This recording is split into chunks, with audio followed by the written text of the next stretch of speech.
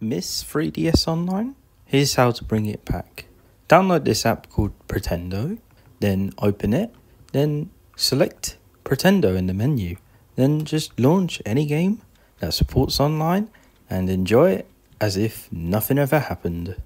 Ever wanted to play Virtual Boy games? Red Viper is an emulator made to play Virtual Boy game. Not only does it run incredibly well, but it also allows you to play all the games in 3D as well as some other quality of life improvements. Ever wanted to know whether it's raining or not? Well, the Forecast app on the 3DS might be able to tell you. This app simply tells you the weather in your location, but it also doesn't because that's wrong. But you never know, you might need to know the weather for a place very far away from you. If you bought a 3DS recently, you need to do this right now. This app is called Battery Mark and it benchmarks your battery. This is really handy if you've bought a used 3DS as the batteries in these DSs are becoming very old at this point and it gives you very detailed results at the end. Wanted to know what type of screens your 3DS has?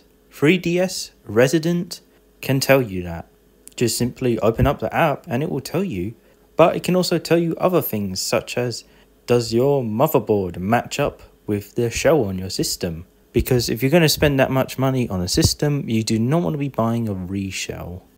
Ever wanted to cheat in maths class? Calcula 3DS is what you need. It is a basic calculator for your 3DS that can solve simple equations. Just don't push it too far.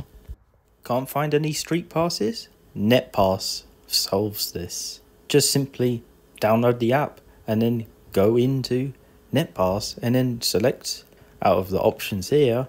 It will then sync up with other people and then generate you some street passes. So now you can street pass even if you're on the other side of the world. What if I told you this version of YouTube on the 3DS is better than yours?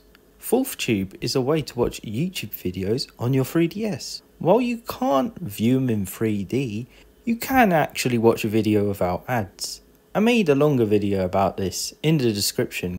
Notepad 3DS is pretty self-explanatory. It is a very basic notepad app for the 3DS.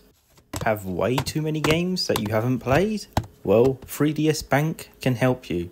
The 3DS has this limitation on how many games you can have downloaded onto it at one time. But 3ds Bank solves that by creating virtual home menus to allow you to place the hundreds of games you haven't played. Never know what game to play?